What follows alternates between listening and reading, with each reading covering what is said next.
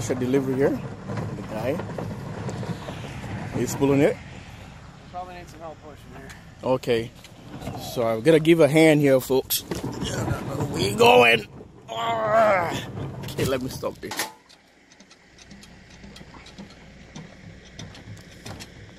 Yeah, I can't make it around that corner without tearing up the yard. I don't want to tear up the yard. Yeah. Well, I'm helping here, pulling the thing. We're dragging this thing all the way, guys, folks. See, I'm telling you, the first lithiums here by Nissan Leaf. It's a one-old package that be they install in a car. This is the load. Almost it's uh, according to specs, it's supposed to be like uh, uh, half of the weight of a vehicle. So see that guy is pulling all his muscles, dragging this baby all the way. This is a special delivery and it's gonna be dissected by JW Solar USA.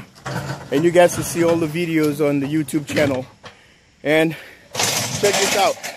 Everything is looking good here. Remember this place, but I'm not gonna tell you the address.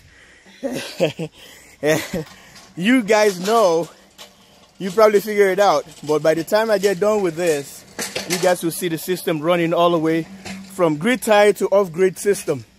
It's no more longer putting the power to the grid. He want to keep the power and power his entire house with lithiums.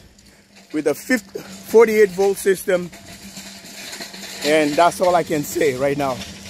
Look at this huge. Huge. All right?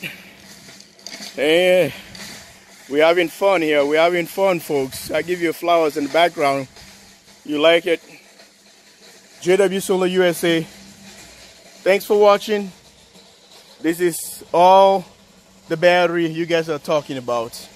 This is the battery you guys want to see. And this is going to be the operation right here. The Operation Daybreak. Operation Daybreak. That's how I'll call it. Operation Daybreak. So live. Live. From the command center.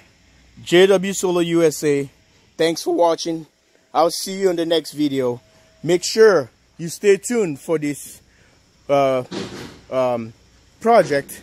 As always, love you guys. Take care of yourself and stay tuned live here from Minnesota.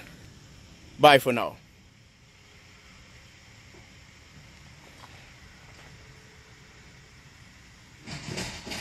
Don't forget to subscribe, like, and share.